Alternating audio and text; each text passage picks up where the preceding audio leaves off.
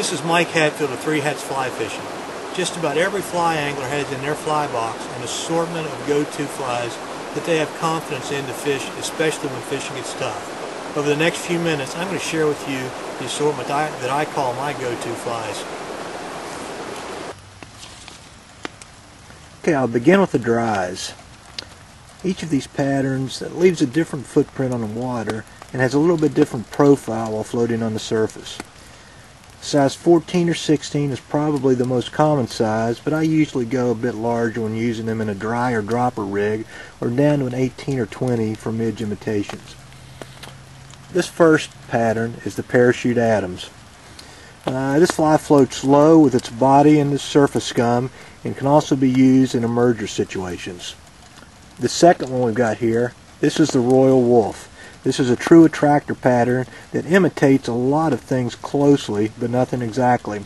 This fly floats high in the water, and the hackle leaves a leggy impression on the surface. Okay. Next is the elk hair caddis. Uh, this floats high and leaves a wide shadow on the surface, and this has a wing profile to mimic a true caddis as well. The next of the dries is the olive stimulator, or the stimmy. And this is another true attractor pattern that imitates a lot of insects. The long profile of this fly makes it an excellent terrestrial imitator. Now let's move over to the subsurface flies. And once again, a size 14 or 16 is the most common size, and I generally carry beadhead as well as non-beadhead patterns. The first is a pheasant tail. This is a good all-around dark-bodied, slim profile nymph that will imitate many insects that crawl around in the rocks and the gravel of the stream. A non-beadhead version can be used to fish high in the water column or in slower moving water. The next pattern, the Prince, is a pattern that has a bit more bulk to the body profile and has visible wings and a thicker tail. I've even clipped the wings off of this pattern to offer the fish something a little bit different.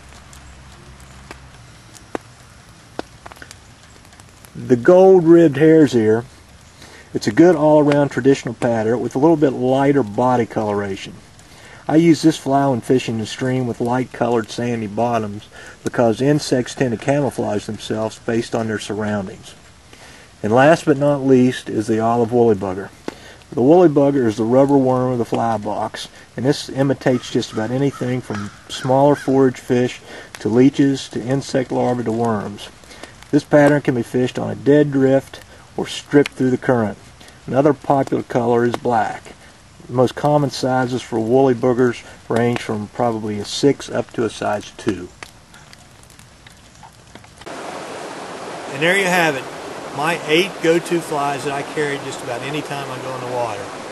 If you don't carry these right now, check out blueflycafe.com. They have all these patterns in addition to about 900 other ones in both the bead head and the standard ties. So until next time, tight lines.